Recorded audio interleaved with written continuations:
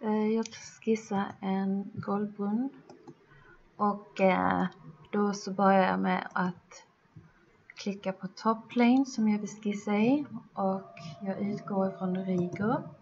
Jag gör en cirkel eh, som jag måttsätter till 160 mm. Nöjd där, går ut exit sketch och går till extruded boss space. Och jag väljer en centimeter, 10 millimeter. Sen vill jag fortsätta att skissa och göra hålmönster. Då väljer jag vad jag vill skissa och det är top plane igen. Jag klickar på normal to för att få sidan helt framför mig och sedan klickar jag på centerline för att jag vill ha en hjälplinje. Sådär. Och jag vill nog att den ska vara sammanfalla med ytterkanten.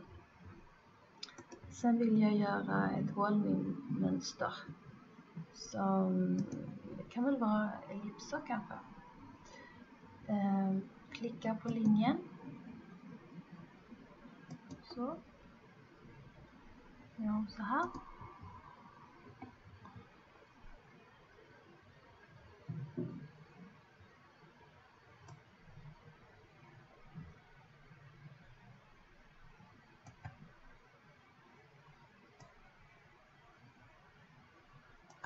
Sådär.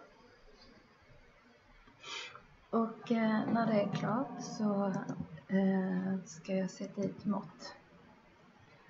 Och då eh, väljer jag den till mm.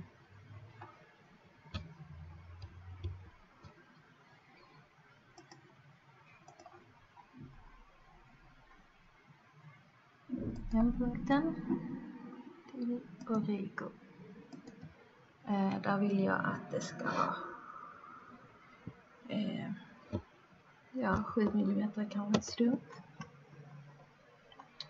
Och här emellan vill jag att det också ska vara 7 mm. Eh, och sedan så vill jag att här emellan ska det också vara 7 mm. Sådär.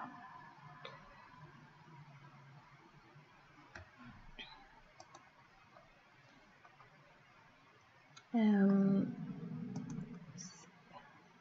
uh, nu så kan jag uh, göra hål här och då går jag till Exit Sketch och Features och Cut Through och då går jag till Through All.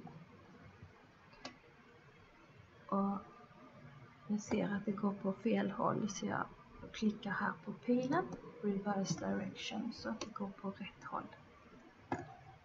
Och så är det okej. Okay.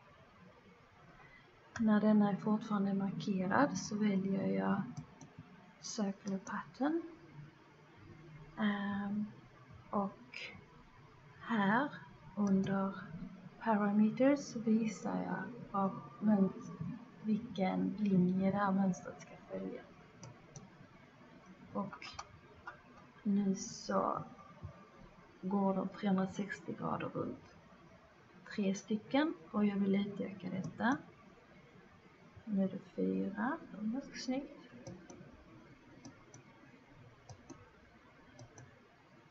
Sådär.